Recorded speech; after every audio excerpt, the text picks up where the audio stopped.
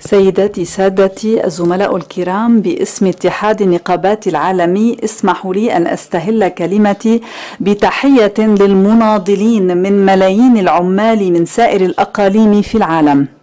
من خلال حشد صفوفهم يعلنون رفضهم لدفع ثمن الأزمة الرأسمالية التي أصبحت أكثر عمقا وانتشرت بشكل أكبر. يقوض ارتفاع الأسعار إلى جانب التضخم الظروف المعيشية للعمال وتتسع رقعة الإشحاف الاجتماعي. إن حقوق النقابات والحقوق الديمقراطية والحريات مع الأسف تتعرض لهجوم حاد. والدورة الثالثة والأربعون لمؤتمر منظمة الأغذية والزراعة تحصل في ظل أوضاع قاتمة.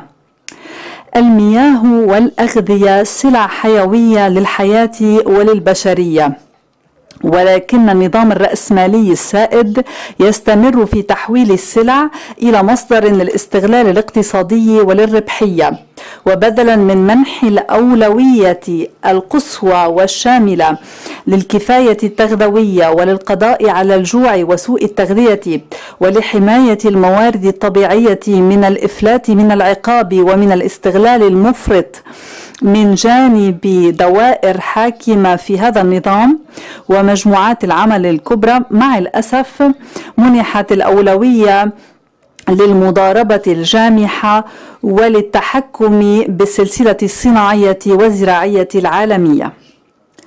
التوقعات الإيجابية ليست كافية، فالواقع المرير بعيد كل البعد عن الشعارات الطنانة بشأن أهداف التنمية المستدامة وخطة 2030 مخاطر الانهيار الكامل للتوازن المائي والأمن الغذائي ماثلة أمامنا.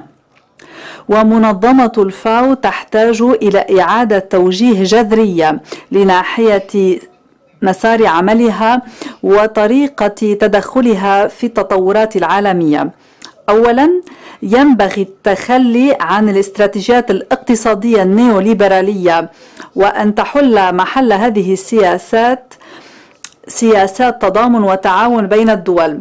التنظيم وليس رفع القيود عن الأسواق الزراعية العالمية هو ما يلزم. السياسات ينبغي أن تتكيف مع واقع كل بلد وكل إقليم وهي حاليا لا تتوائم مع المصالح العالمية السائدة. الإصلاحات الزراعية الحقيقية التي تستخدم الإنجازات العلمية والفنية لمصلحة معظم سكان العالم ينبغي أن تكون الأساس وليس تلك التي تصب في مصلحة حفنة قليلة ونافذة من البشر. ولهذا التحول لابد من إجراء إصلاحات ديمقراطية وتقدمية في منظمة الفاو. فالمنظمة تحتاج إلى إطفاء الطابع الديمقراطي على عملياتها. ومنح دور أهم للمنظمات التي تمثلها أي تلك التي تنتج الثروة الزراعية تلك التي تحتاج إلى الاستدامة والتي تهتم بها وباستدامة البيئة والإدارة العادلة للموارد الطبيعية.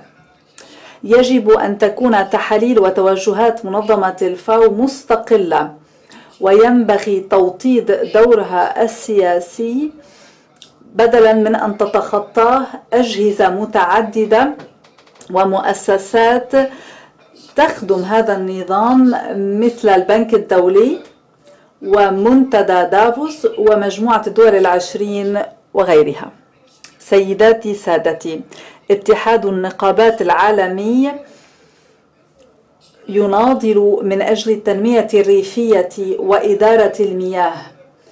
وهو يسعى إلى التكيف مع احتياجات الشعوب والمجتمعات وليس مع مصالح ومضاربات المحتكرين وكبرى الشركات متعددة الجنسيات. لعالم أفضل وأكثر انصافا من دون استغلال عمالة البشر ومن دون الهدر المتهور للموارد الطبيعية سنكافح بالتعاون مع العمال والمزارعين وكل المظلومين لكي نعزز التضامن والعمل الدولي وحشد الجهود العالمية. وبالتالي فإن العالم على هذا القبيل لازم وممكن.